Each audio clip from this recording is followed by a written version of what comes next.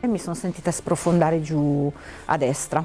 Ho sentito un gran botto, rumore di, di ferri e di vetri che si spaccavano. Mi sono accorta che la macchina era, era in bilico. 9 ottobre, domenica mattina, sono le 6.40. Alessandra Saccato sta tornando da Novara. Ha appena accompagnato la figlia alla navetta per il lavoro. Mentre attraversa il cavalcavia 25 aprile ne crolla una parte. L'auto resta incastrata nella voragine, in bilico. Cercato di tirare giù i finestrini, non scendevano. Le portiere non si aprivano. Cercavo il telefono che avevo appoggiato sul portatelefono, ma è caduto, non lo trovavo ho cercato con i pugni di, di, spaccare il vetro. Urlavo aiuto, aiuto e ho cominciato a suonare il clacson. Alessandra resta bloccata nell'abitacolo, teme che la sua auto possa precipitare da un momento all'altro, ha paura di morire. È in quel momento che un automobilista che si è fermato pochi metri dopo il crollo si accorge di quello che sta succedendo. Potevo non, è, non essere qua a raccontarlo, soprattutto se non c'era quel ragazzo. Azedina Aiani, di origine marocchina, residente in Italia da oltre vent'anni, sta guidando davanti alla macchina di Alessandra quando sente la sua vettura sbandare. Pensa di aver bucato la ruota, si ferma, scende a controllare. Ho visto la luce, solo la luce della macchina di Alessandra che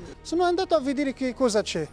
Perché c'era tutto tanto buio, con la pioggia non si vede niente. La signora ha cominciato a a, a, a claxonare col claxon. Non ci pensa due volte, corre verso l'auto di Alessandra. Piove a dirotto, l'asfalto sta franando, rischia di crollare giù anche lui. Sotto non c'è niente sotto. Anche quello è un pericolo, però a quel momento io non ho pensato per niente di pericolo. Coraggio per andare a, a aprire la macchina, hai visto la macchina come era? La macchina, l'ho aperto così la porta, e l'ho data perché lei non riesce a... Non l'ho data la mano ah. e lei, eh, mi ha anche, lei mi ha aiutato per uscire. Alessandra è salva, riesce solo a dirgli grazie. Lui le presta il telefono per avvisare suo marito. Poi arrivano le forze dell'ordine, i soccorsi la portano in ospedale. Il peggio è passato, ma lei vuole parlare con il suo angelo custode, così lo definisce. Sul telefono del marito è rimasto impresso il numero di quello sconosciuto che le ha salvato la vita. Lui ha detto io ho fatto il mio dovere, fa quello che avrebbe fatto chiunque. Gli ho promesso che ci incontreremo sicuramente per berci un caffè. E quell'incontro è effettivamente avvenuto e questo è un abbraccio meraviglioso che sono convinto che Alessandra non dimenticherà mai.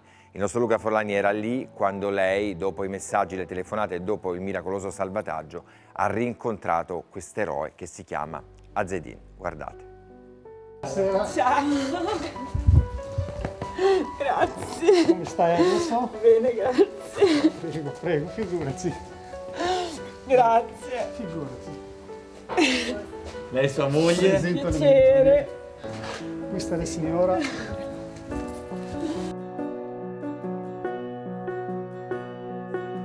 Gli devo la vita. Posso riabbracciarlo? Certo. certo.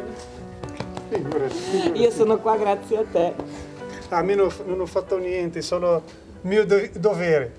Alessandra, senti che emozione vederlo di persona, no? Che tu da, era da domenica sì, mattina. Io ho visto solo il cappuccio della felpa rossa, io non, sì. non l'ho neanche guardato in faccia. Pioveva!